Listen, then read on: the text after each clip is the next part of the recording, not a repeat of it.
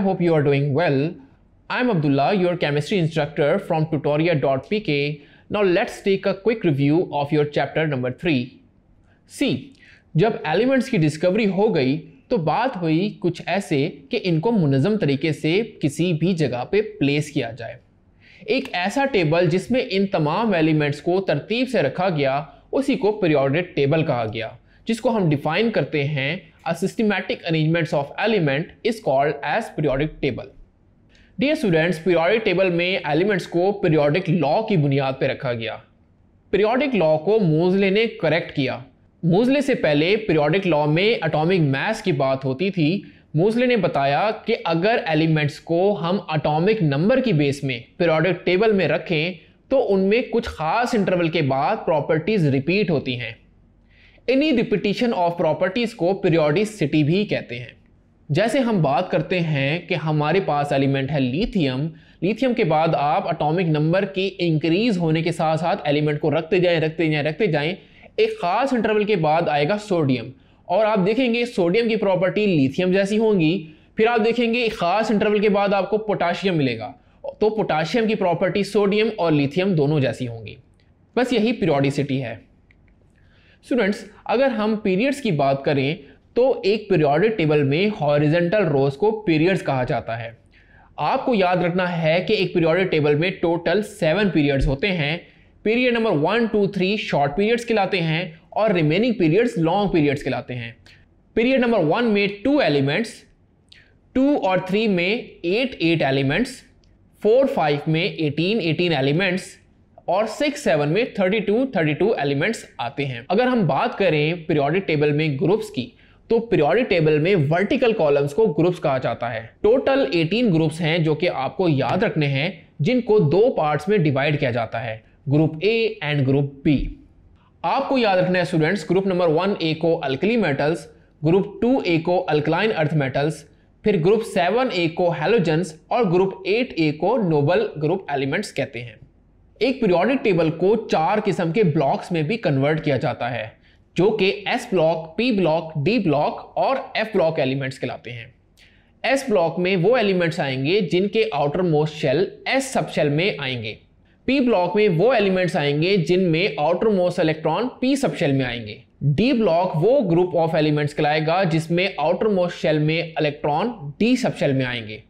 और F block वो block होगा जिसमें एलिमेंट्स के electron outermost shell F block में आएँगे। डियर स्टूडेंट्स शील्डिंग इफ़ेक्ट की अगर हम बात करें तो जहाँ फोर्सेस ऑफ़ अट्रैक्शन होती है, वहाँ पे फोर्सेस ऑफ़ रिपल्शन भी होती हैं। इन्हीं फोर्सेस ऑफ़ रिपल्शन को शील्डिंग इफ़ेक्ट कहा जाता है। याद रखिए कि shielding effect along the period decrease होता है, लेकिन अलोंग द ग्रुप इंक्रीज होता है। उसकी रीजन ये है कि अलोंग द ग्रुप एटम का साइज़ क्योंकि इंक्रीज होता है और नंबर ऑफ़ शेल्स इंक्रीज होते हैं तो नंबर ऑफ़ इलेक्ट्रॉन्स भी इंक्रीज होते हैं। अब वेलेंस इलेक्ट्रॉन पे दरमियान वाले इलेक्ट्रॉन एक फोर्सेस ऑफ़ रिपल्शन क्रिएट करते हैं, जिसकी वजह से शील्डिंग इफ़ेक्ट आपको बढ़ता हुआ नज़र आता है। लेकिन अगर हम अलोंग द पीरियड बात करें तो एटम का साइज़ क्योंकि छोटा होता है साइज़ छोटे होने की वजह से forces of attraction actually increase होने लगती हैं, जिसकी वजह से फोर्सेस ऑफ़ रिपल्शन डिक्रीज होने लगती हैं। तो इसका मतलब along the period force of repulsion decrease होनी है, यानी शीलिंग इफ़ेक्ट एक्चुअली डिक्रीज हो रहा है।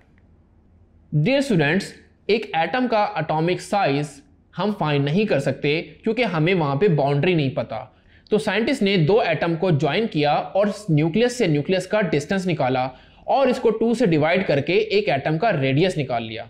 तो हम कहते हैं the size of an atom is the average distance between nucleus of an atom and outer electronic shell अगर हम एटम के साइज़ की बात करें, उसके ट्रेंड की बात करें अलोंग द पीरियोडिक टेबल तो एटम का size along the groups increase होता है while along the periods decrease होता है. Along the group size increase होने की सबसे बड़ी वजह शेल नंबर का इंक्रीज होना है.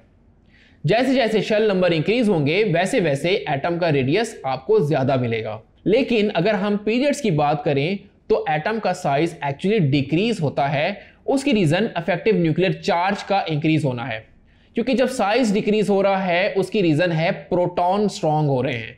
जब प्रोटॉन ज़्यादा हो रहे हैं तो वो इलेक्ट्रॉन को अट्रैक्ट करेंगे और एटम के साइज़ को छोटा करते जाएँगे। Tutoria.pk लाया पाकिस्तान के मैट्रिक और इंटर स्टूडेंट्स के लिए अपनी नोयत का पहला ई लर्निंग प्लेटफॉर्म जहाँ भी आपको मिले 18 से ज़्यादा बोर्ड्स के video lectures past paper solution book notes MCQs quizzes और बहुत कुछ। आज ही हमारी वेबसाइट पर लॉगिन करें और बनाइए अपनी पढ़ाई आसान। डियर स्टूडेंट्स आयनाइजेशन एनर्जी वो एनर्जी है जो मिनिमम एनर्जी होगी किसी भी इलेक्ट्रॉन को वेलेंस शेल में से निकालने के लिए। सो so, हम कह सकते हैं the minimum amount of energy required to remove electron from the outermost shell is called as ionization energy अब आयनाइजेशन एनर्जी के ट्रेंड की अगर हम बात करें तो आयनाइजेशन एनर्जी की value top to bottom in the group decrease होती हैं। उसकी रीजन ये है कि size of the atom actually increase होता है तो जब साइज़ बढ़ेगा तो न्यूक्लियस से आउटर मोस्ट शेल के इलेक्ट्रॉन का डिस्टेंस बढ़ जाएगा। जब डिस्टेंस बढ़ जाएगा तो उसको निकालना बहुत ज़्यादा इजी हो जाएगा। तो बहुत कम एनर्जी चाहिए होगी उस इलेक्ट्रॉन को आउटर मोस्ट शेल से निकालने के लिए। इसका मतलब आयनाइजेशन एनर्जी ज़्यादा शेल वाले एटम यानी बिगर साइज़ एटम के लिए कम होगी। अगर हम पीरियड्स की बात करें तो पीरियड्स में आयनाइजेशन एनर्जी इंक्रीज होती है बिकॉज़ एटम का साइज़ छोटा होता जाता है। जब एटम का साइज़ छोटा होगा तो एक्चुअली न्यूक्लियस से उसकी अट्रैक्शन इंक्रीज होगी, जिसकी वजह से उस इलेक्ट्रॉन्स को निकालना वहाँ से मुश्किल हो जाएगा। आपको ज़्यादा से ज़्यादा एनर्जी देनी पड़ेगी। डियर स्टूडेंट्स इलेक्ट्रॉन अफिनिटी बिल्कुल इसी का रिवर्स है। आयनाइजेशन एनर्जी में आपको इलेक्ट्रॉन को आउटर शेल से निकालना है। लेकिन जब एक इलेक्ट्रॉन आउटर मोस्ट शेल में एंटर होता है तो वहाँ से कुछ एनर्जी रिलीज़ होती है। इसी रिलीज़ ऑफ़ एनर्जी को हम इलेक्ट्रॉन अफिनिटी कहते हैं। याद रखें इलेक्ट्रॉन अफिनिटी का सेम ट्रेंड है जो कि आयनाइजेशन एनर्जी का है। जब आयनाइजेशन एनर्जी ज़्यादा साइज़ वाले एटम में डिक्रीज हो रही थी, वहीं पर जब एक इलेक्ट्रॉन उसी ज़्यादा साइज़ वाले एटम में एंटर होगा तो एनर्जी भी कम रिलीज़ होगी। तो हम कह सकते हैं electron affinity along the group actually decrease होगी बिकॉज़ एटम का साइज़ वहाँ पे बड़ा होगा तो न्यूक्लियस के आउटर मोस्ट शेल में इलेक्ट्रॉन आसानी से आ जाएगा। लेकिन जब हम छोटे साइज़ की बात करते हैं तो न्यूक्लियस के आउटर मोस्ट शेल का फासला थोड़ा सा कम है। तो जब एक इलेक्ट्रॉन उस कम वाले फासले में आएगा तो न्यूक्लियस उस पर एक पुल लगाएगा। जब पुल लगाएगा तो उस इलेक्ट्रॉन में से ज़्यादा एनर्जी रिलीज़ होगी। तो हम कह सकते हैं कि अलोंग द पीरियड क्योंकि एटम का साइज़ छोटा होता है तो वहाँ पे इलेक्ट्रॉन अफिनिटी की वैल्यू बढ़ती जाएगी, क्योंकि वहाँ पे पुल आपको ज़्यादा मिलेगा। डियर स्टूडेंट्स एक एटम की एबिलिटी कि वो किसी इलेक्ट्रॉन को किसी केमिकल बॉन्ड में अपनी तरफ़ अट्रैक्ट कर ले, इस प्रॉपर्टी को इलेक्ट्रोनेगेटिविटी कहते हैं। So we may define electronegativity as the ability of atom to attract the pair of electron towards itself आपको याद रखना है कि इलेक्ट्रोनेगेटिविटी का कॉन्सेप्ट पॉलिंग ने दिया। पॉलिंग ने एक पूरा स्केल बनाकर दिया, जिसमें उसने इलेक्ट्रोनेगेटिविटी वैल्यूज़ को कैलकुलेट भी किया।